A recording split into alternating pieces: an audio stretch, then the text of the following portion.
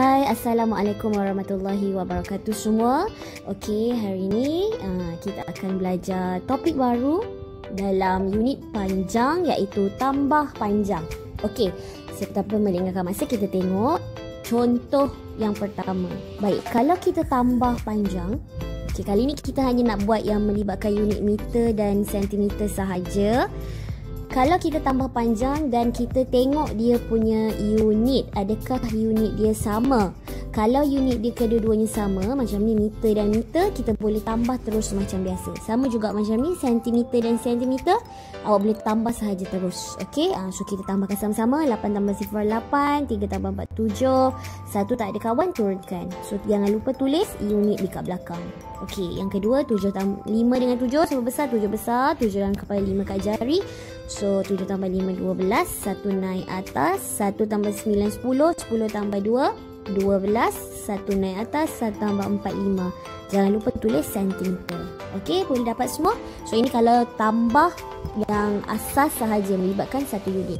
Okey seterusnya cikgu nak tunjukkan Macam mana kalau soalan tersebut me, uh, merupakan soalan tambah Yang melibatkan dua unit. Contoh 3 meter 50 cm tambah 4 meter 18 cm.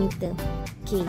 So dekat sini kita nampak kita ada dua unit yang telah uh, berada di dalam satu soalan iaitu meter dan centimeter, meter dan centimeter. Kita boleh tambah menggunakan T-table. Okey, T-table tu apa macam ni? Uh, dia macam huruf T lah. KT table Sorry lah cikgu tak akan pembaris Saya ambil sikit Okay so lepas tu Kita masukkan unit Ni unit untuk meter Ni unit untuk cm Okay asingkan dia So lepas tu kita tuliskan ikut Rumah 3 meter 50 cm Ikut rumah 4 meter 18 cm Dan kita tambah sahaja terus macam biasa Okey, sifar tambah 8, 5 tambah 1, 6, 3 tambah 4, 7. Okey, so awak akan dapat jawapan dia 7 meter 68 cm. Okey, cikgu nak ingatkan semula 1 meter bersamaan dengan 100 cm. So, kita kena check balik rumah sentimeter kita. Adakah dia dah lebih daripada 100 atau belum? Kalau belum, macam ni 68 kan masih kurang daripada 100. So, kita uh, dapat jawapan macam ni terus. Okey?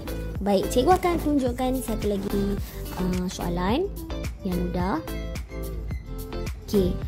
Contohnya 1 meter 59 cm tambah 2 meter 60 cm. Okey, so ni pun ada dua unit. Satu unit meter, satu unit centimeter kan? So kita kena buat dalam T-table lah. Okay, T-table. Alright. So masukkan soalan. Meter dulu, sentimeter. 1 meter 59 sentimeter tambah 2 meter 60 sentimeter. Okay. So lepas tu kita akan tambah daripada unit sentimeter eh. Kita selesaikan unit sentimeter dahulu. Alright, so 9 tambah sifar 9, 6 tambah 5, 11 kan? Okay, 1 tambah 2, 3. Baik, adakah dah siap? Okay, belum siap lagi sebab kita kena ingat 1 meter bersamaan dengan 100 cm.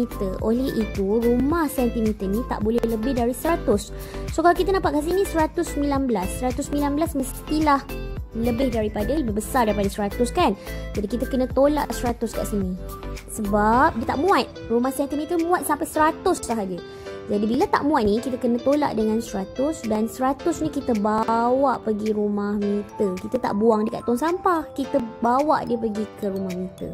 Okey, 1 meter bersama dengan 100 cm. So ini 100 ni adalah dalam unit cm. So bila kita buang ke ke, ke rumah meter, kita kena tambah 1. Sebab 1 meter bersamaan dengan 100. Okey. Ingat, kita tak tambah sini, Ni kita tak tambah 100 sebab yang 100 ni adalah untuk cm. Bila dibawa ke rumah meter dia jadi 1. Baik.